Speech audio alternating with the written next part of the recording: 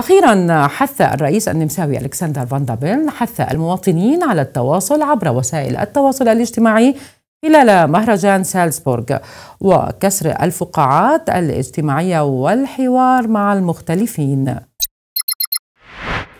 وقام الرئيس أمام الحضور بفتح هاتفه ومتابعة حساب خصمه السابق نوربرت هوفر على تويتر ودعاه لمتابعة ناشطة المناخ السويدية غريتا ثونبرغ وقال التعامل المحترم مع بعضنا يجب أن يصبح قويا ودعا المواطنين لزيارة الأماكن الاجتماعية والتواصل لتعزيز التفاهم والتعاون بين أفراد المجتمع وقد أثارت هذه الخطوة جدلا واسعا في النمسا oder von Andreas Babler oder von Alexander van der Bellen.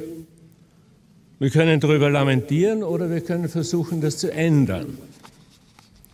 Also wieso nicht einmal versuchen, die Algorithmen zu verwirren, indem wir auch denen folgen, das ist Neudeutsch, tut mir leid, auch denen folgen, deren Meinung vielleicht nicht so ganz unserer Meinung entspricht.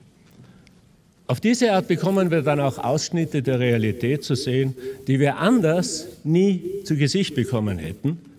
Und auf diese Art bekommen wir vielleicht auch wieder das Bild einer gemeinsamen Realität.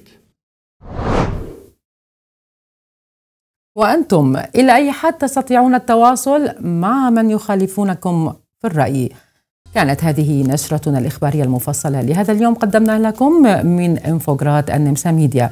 لا تنسوا تحميل التطبيق على هواتفكم ليصلكم كل جديد. كنت معكم أنا هيفاء ألقاكم في نشرات لاحقة. بأمان الله.